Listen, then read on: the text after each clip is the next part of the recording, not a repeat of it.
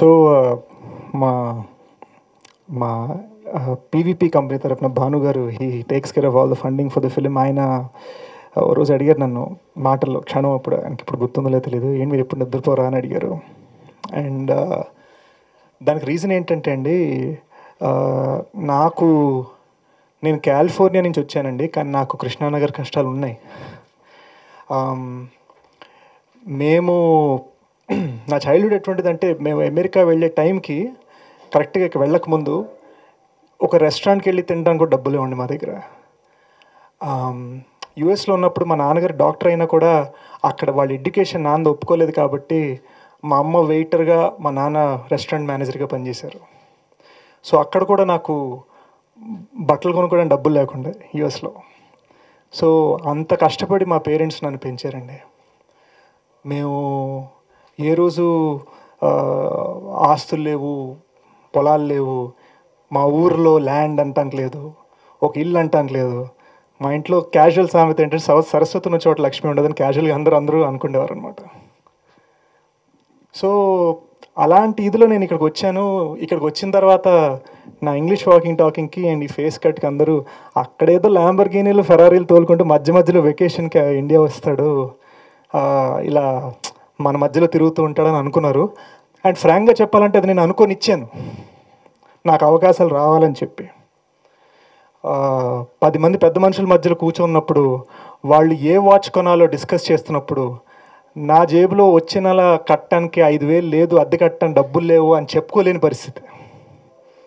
అయినా కూడా వాళ్ళ మధ్యలో ఇంగ్లీష్ వాకింగ్ టాకింగ్లు ఫేస్ కట్లతోటి మేనేజ్ చేశాను అనమాట పంజా తర్వాత కూడా నా పరిస్థితి ఇంతే. అయితే పంజా తర్వాత చాలామంది ఇండస్ట్రీలో పెద్ద మనుషులు కానీ మా సోషల్ సర్కిల్లో పెద్ద మనుషులు రే ఇప్పుడు నీకు విలన్గా ఫాలోయింగ్ వచ్చింది ఇప్పుడు నువ్వు హీరోగా మారాలి హీరోగా మారాలి హీరో అంటే ఇలా చేస్తాడు హీరో అంటే ఇలా కామెడీ చేస్తాడు ఇలా పాటలు చేస్తాడు ఇలా డ్యాన్స్ చేస్తాడు ఇది అని చెప్పి నేను కిస్ అని సినిమా చేశానండి. ఆ సినిమాకి నేనే పర్సనల్గా నా క్రెడిబిలిటీ మీద రెండు మూడు కోట్లు అప్పు చేయడం జరిగింది. అయితే నేను ప్రతి ఇంటర్వ్యూలో అంటే ఈ పాటికి పాత ఓల్డ్ న్యూస్ అయిపోయి ఉండొచ్చు కానీ ఆ సినిమాకి పోస్టర్ ఖర్చు కాదు కదా. పోస్టర్ని అంటించడానికి వాడే మైదా పిండి ఖర్చు కూడా రాలా. సో మార్నింగ్ షోకి మ్యాట్ని షోకి మధ్యలో డిస్ట్రిబ్యూటర్ నుంచి ఫోన్ వచ్చింది. అమ్మా total two and half three crores పోద్ది అన్నారు. జేబులో పది లేని పదివేలు లేని క్యాండిడేట్కి ఇప్పుడు అర్జెంటుగా రెండు మూడు కోట్లు కట్టాలి. అనే ఇది వచ్చిందండి. కొంతమంది అప్పుగా డబ్బులు ఇచ్చిన వాళ్ళు పోలీసుల చేత ఫోన్ చేయించడం జరిగింది. నేను ఇండియాలో ఆటో కూడా ఎలా తీసుకోవాలో తెలియని నేను ఇండియాలో ఒక రోడ్ కూడా క్రాస్ ఎలా చేయాలో తెలియని నేను ఒక సమయంలో ఢిల్లీ పోలీస్ స్టేషన్లో పది మంది పోలీస్ ఆఫీసర్లు చేతుల లాఠీలు పట్టుకొని ఎప్పుడు డబ్బులు ఇస్తావు? అని నన్ను బెదిరించడం జరిగింది. అక్కడి నుంచి స్టార్ట్ అయిందండి వర్జన్ టూ పాయింట్ జీరో. నేను అప్పటికప్పుడు నేను ఒక డెసిషన్ తీసుకున్నాను. మనసుకి నచ్చింది మాత్రమే చేస్తాను మనస్ఫూర్తిగా చేస్తానని. ఎవరి మాట విన్ను? ఆ టైంలో ఇంక నేను మా ఫ్యామిలీ మాటలు కూడా వినలేదు. ఆ టైంలో పీవీ గారు లక్కీగా నమ్మారు. క్షణం సినిమా జరిగింది. అక్కడి నుంచి ప్రయాణం మొదలైందండి. Two point zero.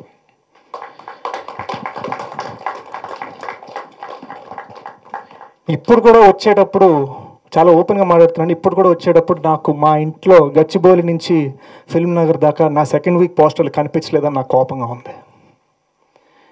నాకు అంత ముఖ్యం సినిమా నిలబడటం అని. ఎందుకంటే సినిమా నిలబడితేనే అందరూ మాట్లాడుకుంటారు.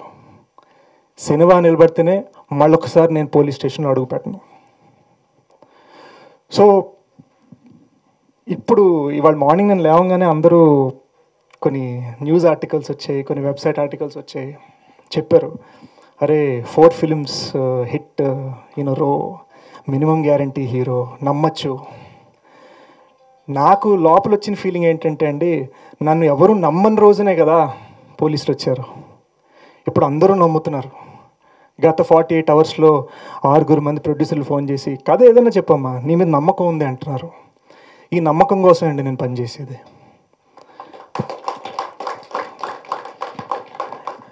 నిజంగా ఆ డబ్బు లేని సమయంలో నాకు ఉన్నది ఒక్కరే అండి అది అబ్బూర్ గారు.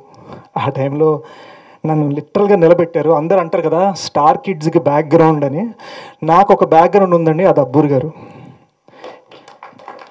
ఎందుకంటే పంజా డైలాగ్స్ రాసింది ఆయనే. పంజాలో ఉన్న క్యారెక్టరైజేషన్ని ఎలివేట్ చేసింది ఆయనే.